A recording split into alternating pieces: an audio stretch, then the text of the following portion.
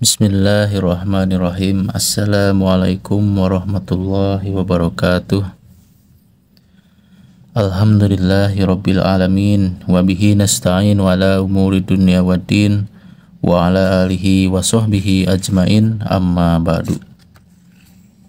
Allahumma salli ala Sayyidina Muhammad wa ala ali Sayyidina Muhammad wa ala alihi wa sahbihi wa sallim Sahabat Ilyaspekdia Channel di mana pun berada, mudah-mudahan kita semua ada dalam keadaan sehat walafiat dan ada dalam melindungan Allah Subhanahu wa taala, dimudahkan segala urusannya dan digampangkan dalam mencari rezekinya. Amin. Ya Allah ya Rabbal alamin. Di video kali ini saya akan masih membahas tentang keutamaan surat-surat dalam Al-Quran. Dan sekarang yang akan saya bahas yaitu keutamaan dari surat Al-An'am.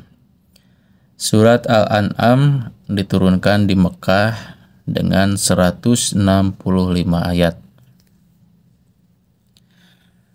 Surat Al-An'am ini merupakan salah satu surat mulia dalam Al-Quran. Dalam riwayat dijelaskan, surat ini diturunkan sekaligus. Ketika surat ini diturunkan, sebanyak 70 ribu malaikat ikut turun mengiringinya. Dengan kata lain, surat Al-An'am memiliki keagungan dan kisah tersendiri. Selain itu, Surat ini juga sangat baik apabila diamalkan dan dibaca secara istiqomah oleh para hamba Allah yang senantiasa mengharapkan cinta, pertolongan, dan kedekatan kepadanya. Adapun salah satu keutamaan mengamalkan surat Al-An'am adalah akan didoakan oleh 70 ribu malaikat yang sedikit pun tidak pernah berbuat dosa dan maksiat kepada Allah.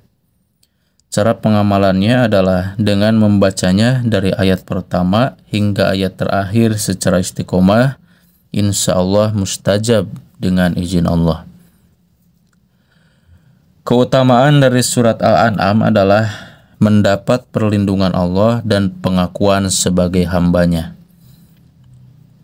Salah satu keutamaan mengamalkan surat Al-An'am adalah mendapatkan perlindungan sempurna dari Allah dan mendapatkan pengakuan sebagai hambanya kelak di hari kiamat. Di hari tiada naungan kecuali naungannya. Cara pengamalannya yaitu amalkan eh, ayat pertama sampai ayat ketiga dari surat Al-An'am ketika akan memasuki waktu subuh. Ayatnya yaitu Bismillahirrahmanirrahim Alhamdulillahilladzi khalaqas samawati wal arda wa ja'alad dhulumati wan nur. Tsummal ladzina kafaru bi rabbihim ya'dilun. Huwallazi khalaqakum min tinin tsumma qada ajala wa ajalum musamma indahu thumma antum tamtarun. Wa huwa Allahu fis samawati wa fil ardi ya'lamu sirrakum wa jahrakum wa ya'lamu ma taksibun.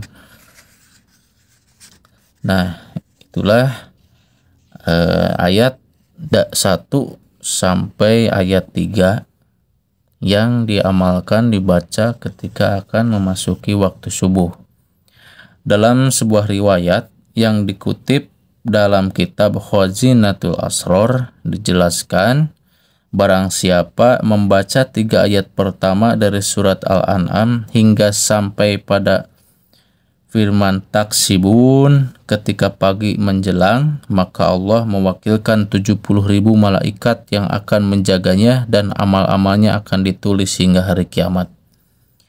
Akan turun pula malaikat dari langit ketujuh membawa tongkat dari besi. Setiap kali setan berkeinginan untuk meletakkan keburukan malaikat tersebut akan memukulnya dengan tongkat yang dibawanya itu dan Allah akan membentangkan 70 ribu hijab antara dirinya dan setan. Maka apabila datang hari kiamat, Allah berfirman kepadanya, Wahai anak Adam, berjalanlah di bawah naunganku dan makanlah buah-buahan surgaku dan minumlah air dari telaga kausar dan mandilah dari air telaga salsabil. Engkau adalah hambaku dan aku adalah Tuhanmu, tiada hisab juga atasmu. Dikutip dari kitab Hozinatul Asror. Keutamaan selanjutnya yaitu mendapatkan ampunan Allah. Salah satu keutamaan mengamalkan surat Al-An'am adalah untuk mendapatkan ampunan Allah. Dalam kitab Ad-Dur An-Nazim fi Khawas Al-Quran Al-Azim disebutkan sebuah riwayat Rasulullah Shallallahu alaihi wasallam bersabda, Barang siapa membaca surat Al-An'am dan tidak memutusnya dengan suatu perkataan, maka Allah akan mengampuni apa yang telah lalu dari amal perbuatannya. Masya Allah. Jadi, jika kita mengamalkan atau membaca surat Al-An'am dari ayat pertama sampai akhir tanpa berbicara dengan siapa pun, maka Allah akan mengampuni apa yang telah lalu dari amal perbuatan kita. Masya Allah. Terus keutamaan selanjutnya yaitu mendapatkan keamanan Allah dari rasa takut dan musibah sakit. Nah, salah satu keutamaan mengamalkan surat Al-An'am adalah untuk mendapatkan keamanan Allah dari rasa takut dan musibah sakit. Cara pengamalannya yaitu setelah wudhu, lakukan sholat sunnah hajat dua rakaat. Pada tiap rokaat setelah membaca Al-Fatihah, membaca surat Al-An'am. Insya Allah mustajab.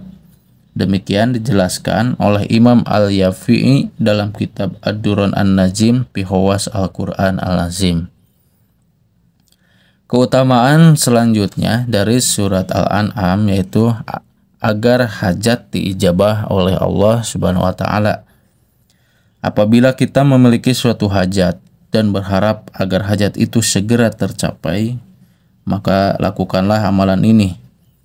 Bacalah Ya Latif sebanyak 6000 kali.